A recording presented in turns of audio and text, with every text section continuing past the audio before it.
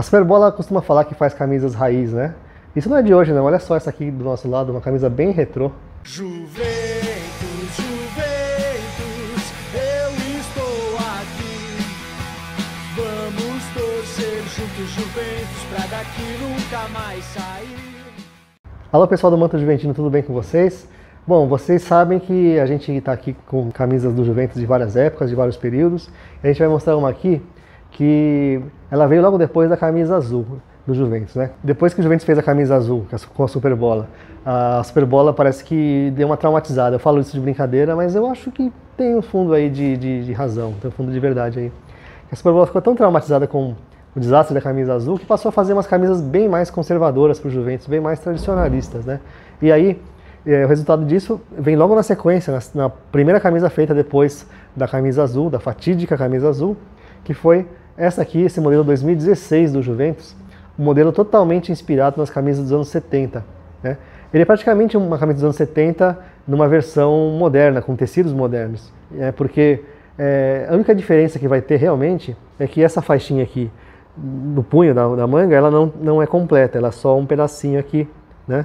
Só um pedacinho que é um pedacinho elástico, inclusive, né? Que essas bainhas aqui foram feitas é, do mesmo estilo que se fazia nos anos 70 com é, o, brancas, né? Com o friso grená aqui. A gola é careca, a gola é redonda, né? Como queiram. É, tem aí os elementos bem inspirados mesmo naquela dos anos 70. Essa camisa tem um tom de grená um pouco mais puxado para o vermelho, né? E tem também uma outra coisinha que diferencia daquelas antigas, né? Que é aqui atrás. Aqui atrás tem uma palazinha aqui, né?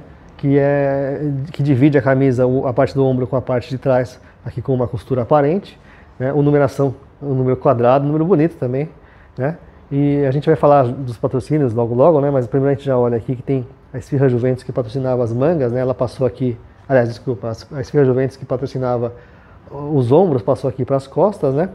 Porque nos ombros entrou uma outra marca. Nos ombros e também aqui na parte central, aqui com o patrocínio Master, no espaço principal, entrou essa marca Oswaldo Cruz Química, que é uma empresa aí de produtos químicos, fazia resinas, alguns produtos até é, para ser usados como insumos industriais mesmo, né? Não é, não é empresa de, de produtos para o varejo, não.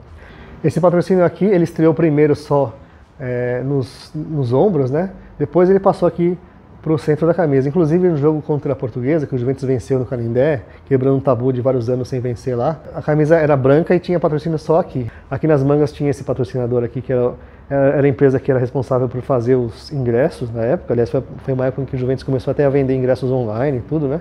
É, o patch da camisa é o mesmo de 2015, né? Aliás, de 2015 nós estamos devendo o vídeo ainda, faremos, né? Então tem um patch aqui com um holograma, é um patch pesado, emborrachado, né?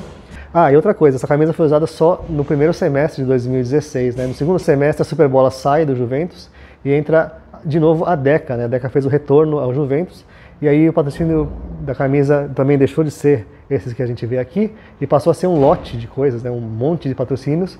É uma camisa que eu acho até bonita, ela pelada, ela sem os patrocínios é bonita. Tá aqui no vídeo para quem não viu, nós já fizemos um vídeo daquela camisa lá. E é isso aí, uma camisa bem retrô. Se a Superbola gosta de falar que faz camisas raiz, bom, isso não vem de hoje, né? A gente vê que tem aqui uma camisa bem tradicional. Bom, pessoal, é isso aí. Esse foi o vídeo de hoje.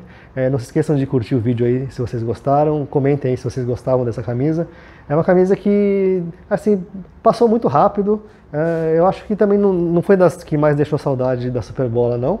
Mas também está aí deixando a sua marca no Juventus em uma temporada que foi difícil, né? A, a, a Série 2 de 2016 foi uma temporada bem difícil, foi um campeonato bem difícil. Não esqueçam também de nos seguir nas redes sociais e a gente se vê no próximo vídeo com outras camisas e mais histórias. Até mais!